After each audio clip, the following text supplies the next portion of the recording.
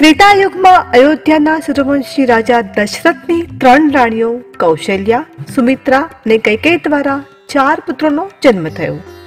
જેમાં શ્રીરામ માતા કૌશલ્યાના પુત્ર, લક્ષ્મણ અને શત્રુઘ્ન માતા સુમિત્રાના અને ભરત માતા કૈકેયીના પુત્ર હતા.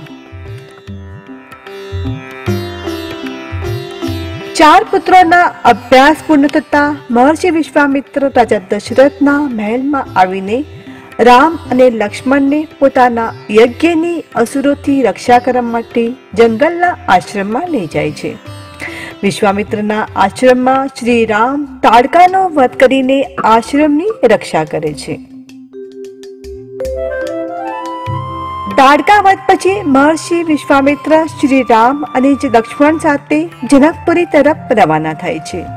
રસ્તામાં તેઓ ઋષિ ગૌતમના આશ્રમમાંથી પસાર થાય છે. ત્યાં શ્રી રામ પોતાના પગથી સ્પર્શ કરીને પાષાણમાં પરિવર્તિત થઈ ચૂકેલી અહિલ્યાને શ્રાપથી મુક્ત કરે છે.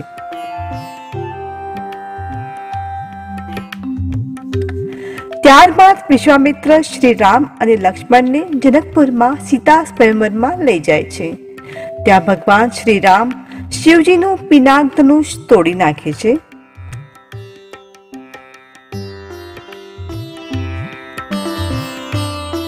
ત્યારબાદ દશરથજીના ચાર પુત્રોનું લગ્ન, રાજા જનક અને તેમના નાના ભાઈ કુશધ્વજની પુત્રીઓ સાથે થાય છે.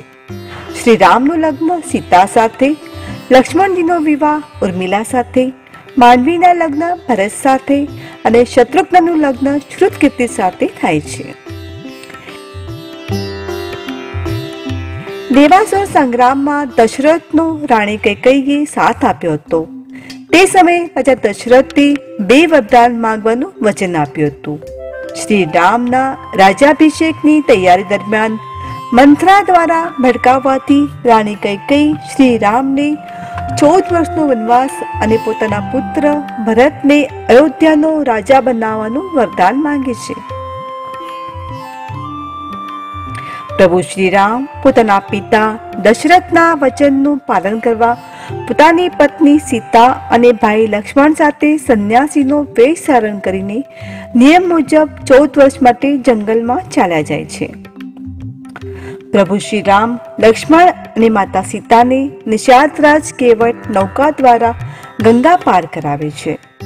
શ્રી રામ ઇનામ આપવા ઈચ્છે છે તો કેવટ કહે છે કે જે રીતે મેં તમને ગંગા પાર કરાવી, એ જ રીતે તમે પણ મને અને મારા પરિવારને આ ભવસાગર પાર કરાવી દેજો. નંદકવનમાં રાવણને પહેલ શૂર્પણખા સુંદર અપ્સરા, નયનતારાનું રૂપ લઈને ત્યાં ઝૂંપડીની બહાર બેસેલા શ્રી રામને પોતાની સાથે લગ્ન કરવાનું કહે છે. શ્રી રામ ના પાડે છે તો તે લક્ષ્મણ પાસે જીત કરે છે. પછી તે માતા સીતાને મારવા દોડે છે. આ જોઈને લક્ષ્મણજી તેનું નાક કાપી નાખે છે. પોતાનું કપાયેલું નાક લઈને શૂર્પણખા પોતાના ભાઈ અને દંડકવનના અસુર રાજા ખર અને દૂષણ પાસે જાય છે. પછી શ્રી રામનું ખર અને દૂષણ સાથે યુદ્ધ થાય છે, જેમાં બંનેનો શ્રી રામ વધ કરી નાખે છે. ખર, દૂષણના વધના સમાચાર લઈને શૂર્પણખા પોતાના ભાઈ લંકાપતિ રાવણ પાસે પહોંચીને તેને ભડકાવે છે અને સીતાના સુંદરતાના વખાણ કરે છે. આ સાથે જ તે કહે છે કે તમે વનવાસી રામની સુંદર પતિનું હરણ કરીને લઈ આવો. ત્યારબાદ રાવણ પોતાના મામા મારીશને હરણ બનાવીને સીતાનું અપહરણ કરવાની યોજના બનાવે છે. સીતા એ સુંદર સુનેરી હરણ જોઈને તેને લાવવાની શ્રીરામને જીત કરે છે. રામજી એ હરણને લાવવા જંગલમાં જાય છે. જ્યારે હરણનું રહસ્ય જાહેર થાય છે, ત્યારે રામ તેનો વધ કરે છે. શ્રી રામ લાંબા સમય સુધી પાછા ન ફરતા, કંઈક અજુકતું થવાની આશંકામાં સીતાજી ગભરાઈને લક્ષ્મણને શ્રીરામની મદદ કરવા જંગલમાં મોકલે છે. લક્ષ્મણજી ત્યારે ઝૂંપડીની ચારે બાજુ લક્ષ્મણ રેખા દોરે છે અને વનમાં શ્રીરામને શોધવા જાય છે.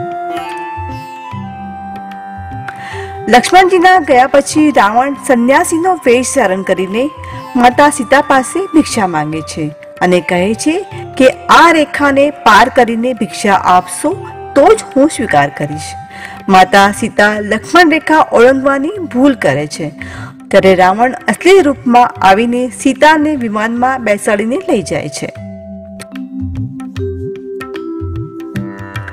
રાવણ જ્યારે વિમાન દ્વારા માતા સીતાનું અપહરણ કરીને લઈ જઈ રહ્યા હોય છે, ત્યારે રસ્તામાં ગીતરાજ જટાયુ તેને રોકવાનો પ્રયાસ કરે છે.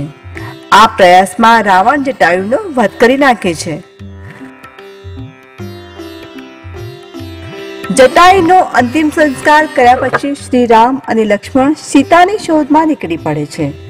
સીતાજીને શોધતા તે સબરીના આશ્રમમાં પહોંચી જાય છે ત્યારબાદ તેમનું હનુમાનજી અને સુગ્રીવ સાથે મિલન થાય છે. સુગ્રીવ પોતાની વ્યથા શ્રીરામને સંભળાવે છે. સુગ્રીવની વ્યથા સાંભળીને રામજી બાલીના વધ માટે તૈયાર થઈ જાય છે અને સુગ્રીવ અને બાલીના યુદ્ધ દરમિયાન રામજી બાલીનો વધ કરીને સુગ્રીવને કિષ્કિંધાનો રાજા બનાવી દે છે. માતા સીતાને સોધમાં જામવંતના કહેવા પર હનુમાનજી પોતાની શક્તિઓનો આભાસ થાય છે અને તેઓ સમુદ્ર ઓળંગીને અશોક વાટિકા પહોંચી જાય છે. ત્યાં તેમની વિભીષણ સાથે ભેટ થાય છે. ત્યારબાદ તેઓ માતા સીતાને શ્રીરામને અંગૂઠી આપીને શ્રીરામ વિશે જણાવે છે. ત્યારબાદ મેઘનાથ હનુમાનજીને બંધક બનાવીને રાવણ સામે લાવે છે. હનુમાનજી રાવણને શ્રીરામ સમક્ષ સમર્પણ કરવા અથવા યુદ્ધ માટે તૈયાર રહેવાનું કહે છે. આ સાંભળીને રાવણ હનુમાનજીની પૂંછડીમાં આગ લગાવી દે છે. હનુમાનજી પોતાની સળગતી પૂંછડીથી લંકા સળગાવી દે છે.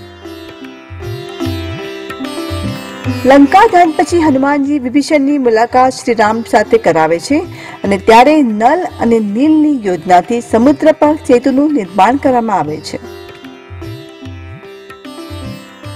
અંતમાં શ્રી રામ બાલીપુત્ર અંગતને રાવણની સભામાં મોકલીને સમર્પણ કરવા અને શાંતિનો અંતિમ પ્રસ્તાવનો સંદેશ આપે છે. રાવણ માનતું નથી તો અંગત પોતાની શક્તિનું પ્રદર્શન કરીને ચેતવણી આપીને પરત ફરે છે. ત્યારબાદ રામ અને રાવણનું યુદ્ધ થાય છે. ત્રીજા દિવસના યુદ્ધમાં શ્રી રામનું કુંભકર્ણ સાથે યુદ્ધ થાય છે અને ત્યારે કુંભકર્ણ માર્યો જાય છે. કુંભકર્ણ અને રાવણના પુત્રો માર્યા ગયા પછી લક્ષ્મણ મેઘનાથનું યુદ્ધ થાય છે. ત્યારે મેઘનાથ રામ લક્ષ્મણને નાગપાશમાં બાંધી દે છે. પછી ગરુડજીની મદદથી રામ લક્ષ્મણને નાગપાશમાંથી મુક્ત કરે છે. ત્યારબાદ મેઘનાથના પ્રહારથી લક્ષ્મણજી મૂર્છિત થઈ જાય છે. ત્યારે હનુમાનજી વૈતરાજ સુશેનના કહેવા પર સંજીવની જડીબુટ્ટીનો પર્વત લઈને આવે છે. સંજીવની પુટીથી લક્ષ્મણજીને જ્યારે હોશ આવી જાય છે, ત્યારે ફરીથી તેમનું મેઘનાદ સાથે યુદ્ધ થાય છે ને અંતમાં તેઓ મેઘનાદનો વધ કરે છે. ત્યારબાદ રામ અને રાવણનું ભયંકર યુદ્ધ થાય છે. વિભીષણના બતાવ્યા મુજબ શ્રી રામ રાવણના નાભીમાં તીર મારે છે અને ત્યારે રાવણનો વધ કર્યા બાદ પ્રભુ શ્રી રામ પોતાની પત્ની સીતા અને ભાઈ લક્ષ્મણ સાથે પુષ્પક વિમાનમાં બેસીને અયોધ્યા પરત ફરે છે.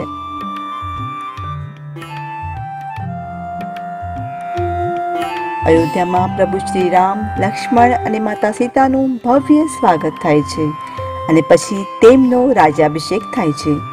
રાજાભિષેકમાં હનુમાનજી, સુગ્રીવ, જામવત, અંગદ સહિત વાનરસેનાના અનેક લોકો સામેલ થાય છે.